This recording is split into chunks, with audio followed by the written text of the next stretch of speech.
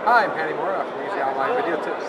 This, uh, this weekend I'm spending some quality time with my family at the Toronto International Car Show. So I thought I'd take my handy pocket cam with me. Also, gonna, I also took my digital Sony CyberShot camera and my BlackBerry Curve. So I'm going to shoot some nice video clips, give you a comparison between the pocket cam, the high definition pocket cam, my Creative Vado, and a CyberShot and a BlackBerry. Show you the footage so you can compare for yourself.